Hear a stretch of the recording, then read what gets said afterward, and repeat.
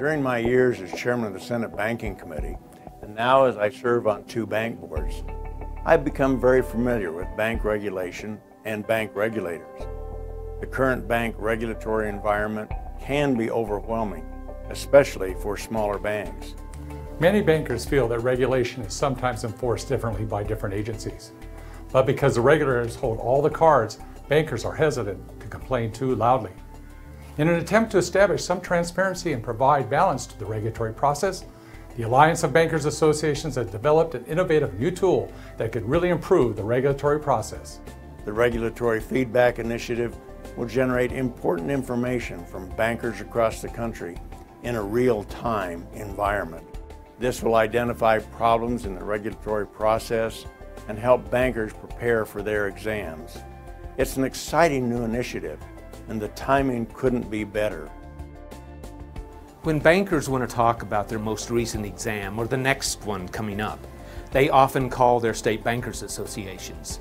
And when they do, we hear some really troubling things from time to time. We don't know if what they're telling us is real or exaggerated. We don't know if it's isolated or really widespread. As an executive of the State Bankers Association, I can talk with regulators about the issues and regulations that bankers raise. But we can't say a lot because we have to protect the identity of the bank or banker who called us.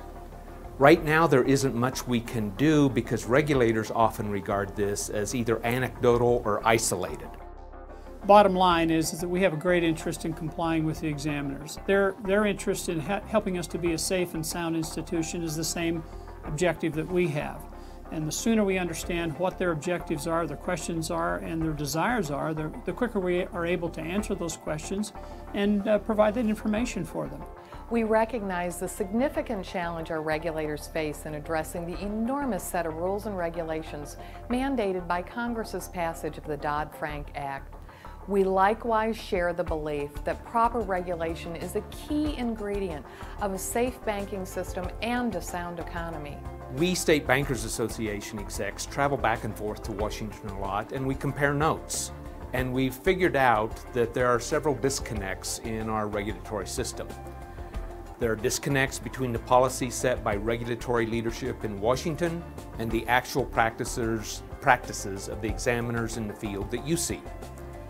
There can be disconnects between different regulatory agencies on the very same law or regulation, and there can be disconnects between the way some regulations are enforced in one region of the country versus another, but all within the same agency.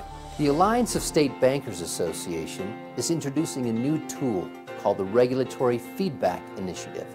The goal is to bring much needed transparency to the regulatory process. It will identify disconnects in the implementation of bank regulations.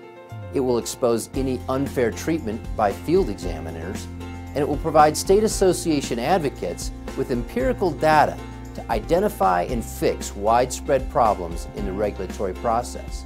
And perhaps most importantly, it will generate custom reports to help our member banks prepare for examinations. We're asking every bank in America to share their examination experience through a brief, secure, and confidential survey.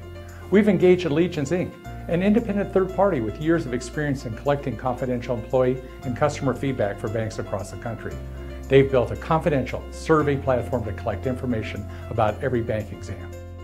This easy-to-use survey tool is available through each state association website and after a few brief demographic questions such as charter type, size, regulator, and region, each bank can quickly answer a few questions about their examination and confidentially share their observations for the benefit of the entire banking industry.